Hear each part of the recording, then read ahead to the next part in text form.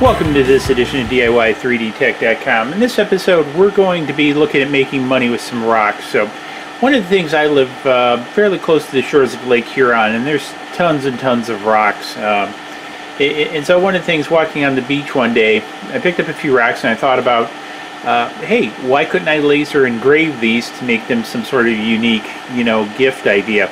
And I thought, hey, this is a great idea for Etsy or local communities that sort of have a resort community, uh, etc. So in a past episode, I had shown that you could uh, laser etch a rock. And so in this episode, what I want to do is I want to follow that up with um, a little bit more so how to go about doing this. So one of the things, I've got the computer fired up um, and I'm going to put um, an overlay over here. And one of the things you'll see, I have laser draw up and I've got a lighthouse. So one of the unique things in the community I live in, there's there's a particular lighthouse which is a bit of a tourist attraction.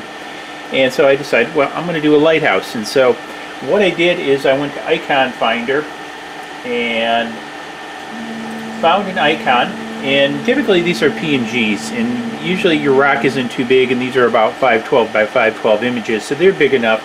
So what I did is I went and got um, program by the name of paint.net. It's a freeware program, so and converted this to BMP, which I then loaded into LaserDraw. So, and that's what I have open now is, is LaserDraw. So what I do is I have a nice kind of black flattish rock that I'm going to use. So you, you kind of want a softer rock for this. Uh, harder rocks um, I, I, don't think are going to do, do that well, especially if you have a 40 watt laser. So what I want to do is go ahead and etch this. So now I'm going to pull up and set this up on um, LaserDraw. And so I will kind of walk you guys through it. So as I pull this up, one of the first things I want to do is center roughly on the stone because now one of the things if you look on the inlay that I have is I've chosen center. So there's a, several different options. For rocks and things like that, I like to use center. So now I'm going to use engrave. Now I am going to, since this is a rock, I'm going to knock this down to about 50 millimeters per second. And I'm also going to use about 18 milliamps. So, you know, roughly full out on the laser tube because this is a rock. It will dissipate heat quickly.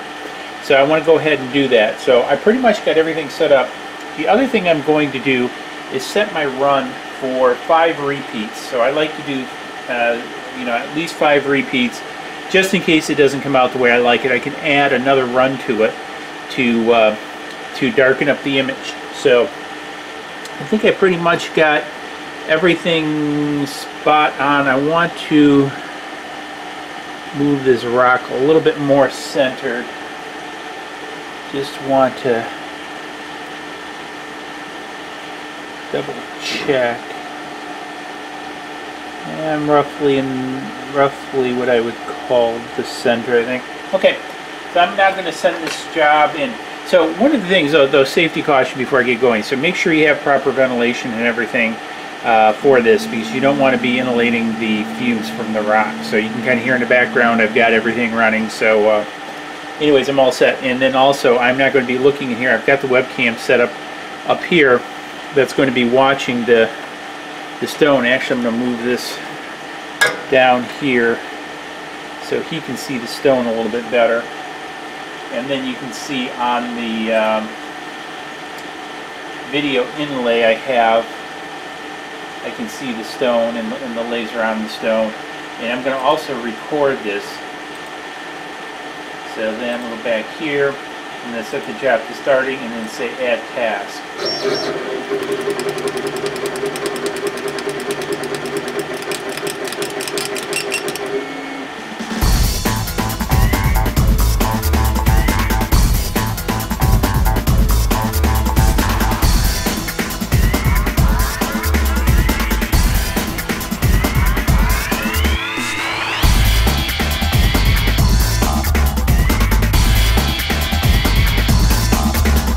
So as you can see, this actually came out pretty good on this, this uh, darker rock. For some reason, the laser went a little bit crazy. I don't know if this was part of a queued uh, prior job or what that it decided to print down here, but here's where it was supposed to print.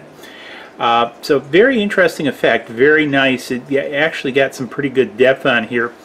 I could have probably actually gone a little bit lighter on power or faster on speed, probably about uh, 100 millimeters uh, a second would have been uh, okay too. Uh, but I think you can see here that the, the look is really very interesting. Um, and again, I think you can do do a lot of interesting things. Now, you can also finish this off. What I typically do is spray these with a clear, glossy polyurethane. And, uh, you know, so it gives it that polished stone look, plus it protects it and seals the, uh, the etching. So, uh, makes it into a nice finished product. So if you want to do something like this on Etsy, you know, you could do people's names, hearts, Valentine's gifts, I think all kinds of stuff you can do with regards to, uh, you know, engraving different stones that you pick up, especially unique stones that you find. I thought this one is kind of interesting. It's kind of like a piece of slate. It was on the uh, shore Lake Huron. I picked it up and, uh, you know, again, uh, came out pretty good. Also, if you're picking up rocks from places, you know, make sure that the law permits you to pick up a rock or collect rocks from those places. You know, most of the, you know, larger public beaches, well, at least here in Michigan do, so uh, not an issue. And like I say, there's tons of rocks on Lake Huron, so, uh, and I'm sure that many places, but uh, anyways, the simple rock can be turned into an Etsy product, and that's one of the things I think is really cool about uh, the laser cutters, the number of things you can do, and it's really up to your imagination as to um, how to go about it. So hopefully you found this interesting and maybe even valuable if you're looking at doing an Etsy shop. If you did, hey, give it a thumbs up. Make sure you subscribe. Don't forget about the swag shop. And hey, we'll see you in the next video. Cheers. Please click like below and subscribe projects.